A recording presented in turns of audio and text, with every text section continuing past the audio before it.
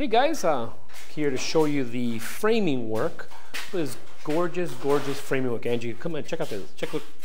So here you have all these, uh, I think it's 25 gauge metal or 20 gauge metal. Don't worry about it.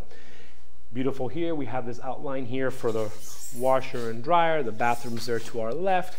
That's a wall that partitions one side from the other. I must say that's a really good job. These guys did really bolted it down. In fact, you can see to the roof how they can actually bolt it to the uh, concrete slabs up there. Mm -hmm. What and do you think? They did a really great job. They were here all day, you know, yesterday and the day before working on it, and they're very detailed, um, which I love. But now that I'm actually looking at the space, yeah, um, it seems a little. But here, our little kitchen goes here, compact, right? Compact. Not kitchen, right. a little bar goes here or something, right? Right, a mini bar. A mini bar. Mini bar. And it seems a little bit more tight, and I think it's because last week I chose to eliminate a door that we had walking yeah. into this space uh -huh. um, to make the entry a little bit wider, more grand. So a lot wider here. Therefore, I lost a couple of inches um, with the mini bar. So behind this framing will be an enclosed laundry area that's actually looking a little bit big to me. Um, hmm. So I'm thinking. Stop. Don't, don't, don't, don't. I know every time it says I'm thinking. I'm thinking that uh, oh I would like to eliminate this framing wall to open up this space. um, when were you probably when were you trying to tell me this? You think that would be a lot of work?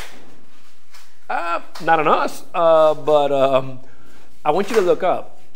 Look at that detailed, beautiful craftsmanship. Mm -hmm. And look at these walls. And then that's that. You see that white thing? Right. Oh. So my idea was I was going to move the washer and dryer oh. to the garage and open up this space to have a larger entertaining space um, with more countertops and cabinetry and I'm thinking. Well, so, so who's going to make the phone call? I will make the phone call to Who the you, framing guy. Oh, so you call the framing guy. and the plumber. Oh, you're going to call both of them? And have them meet us out here, probably today or tomorrow, um, to have this conversation. So the thing that I'm learning is that when you are in the field, walking through a project, things might feel and look a little differently than they are on paper. Um, so changes happen all the time in the field that you probably don't get to see.